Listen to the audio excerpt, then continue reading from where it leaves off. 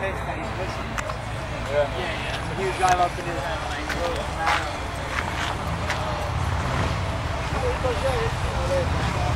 Because really don't realize that what they have up there is. Because these guys would.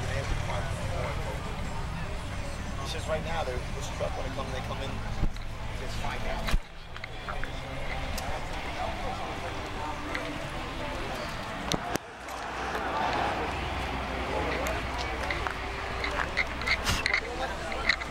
It would